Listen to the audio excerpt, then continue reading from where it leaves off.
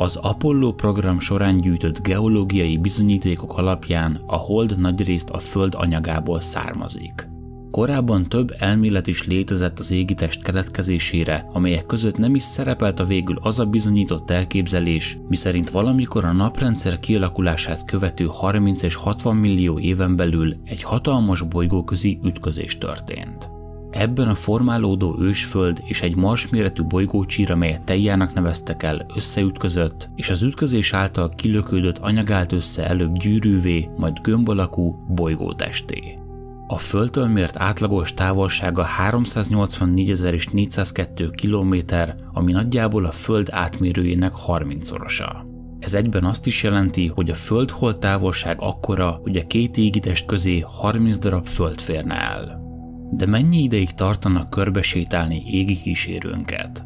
Az, hogy mennyi ideig tartanak körbesétálni a holdat több dologtól is függ, például attól, hogy milyen gyorsan sétálunk, mennyi időt töltünk el naponta ezzel a tevékenységgel, és hogy kitérőt teszünk-e, hogy elkerüljük a domborzatot. De 2014-ben kiszámították, hogy 5 km per órás gyaloglási sebességgel körülbelül 91 napba telne a hold körüli 10.921 kilométeres út megtétele de mivel 91 napig képtelenek vagyunk megállás nélkül gyalogolni, napi 4 óra sétával számolva körülbelül 547 napba telne körbejárni a holdat. De miért olyan fontos a hold számunkra?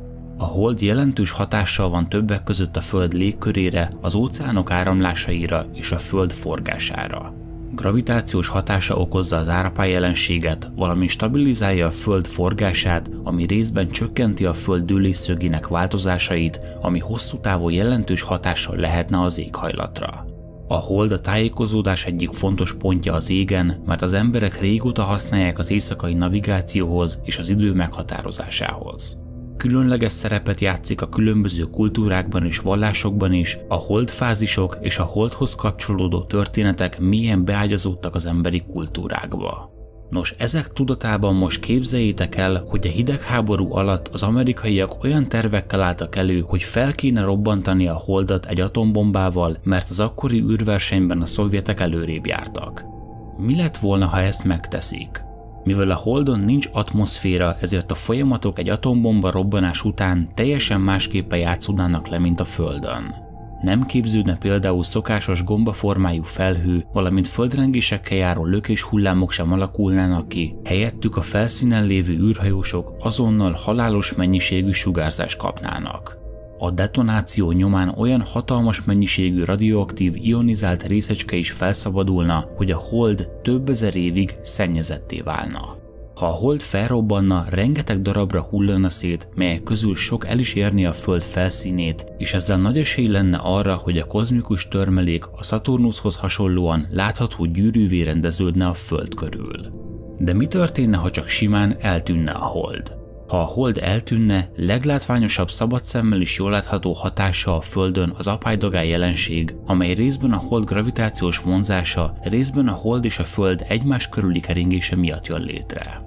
A hold nélkül tehát jelentősen csökkenne az árapály jelenség mértéke, de teljesen nem szűnne meg, mert erre a nap tömegvonzásának is hatása van. A legnagyobb baj viszont az lenne, hogy megszűnne a Föld forgás tengelyének stabilitása, ami teljes éghajlatváltozáshoz vezetne. A hold stabilan tartja a Föld 23,5 fokos dőlését, így nélküle eddig teljesen fagyos területek melegednének fel, és meleg vidékek válnának fagyossá. A ragadozók az éjszaka sötétjére és egy kis holdfényre is támaszkodnak a hatékony vadászathoz, így nélküle bizonyos ragadozók kipusztulnának. A hold nélkül sokkal kisebbek lennének a dagálymagasságok, mivel csak a távolabbi nap okozna árapály jelenséget. Az árapály egyik legfontosabb hatása, hogy bolygónkat a tengelyforgás mai értékére, vagyis 24 órára lelassította, így a jelenség hiányában talán jelenleg is a Föld korai állapotában becsült 4-6 óra körüli érték lenne jellemző. A nagy tömegű hold stabilizálja a Föld forgás tengelyét és fenntartja a 23,5 fokos ferdeségét. A hold nélkül változna ez a tengelyferdeség, amitől gyakoribb lenne a szélsőséges éghajlat, de csak földtörténeti időskálán, azaz millió év alatt éreznénk igazi változást. A sarkvidéki jégtakaró nagysága és kiterjedése is élénken váltakozna, és talán a légköri vízpára és a felhőképződés csapadékhullás jellemzőit is befolyásolná a hold hiánya. Gyakrabban lenne jégkorszak is, amely a Föld nagyobb részére kiterjednének. A hold szerepet játszik az éjszakai tájékozódásban és a kultúrákban, ha eltűnne, az emberek elveszítenék ezt a fontos navigációs pontot, és az éjszakai égbolt jelentősen megváltozna. Emellett a hold szimbolikus és kulturális jelentőséggel bír sok kultúrában, így az eltűnése érzékelhető hatással lenne az emberi kultúrára. A hold jelenléte segít védelmezni a Földet kisebb üstökösök és aszteroidák becsapódásaitól is, mert gravitációs ereje irányítja ezeket az égitesteket, és elhárítja vagy eltéríti őket a Föld felé tartó útvonaluktól. A hold hiánya tehát növelheti a becsapódási veszélyt.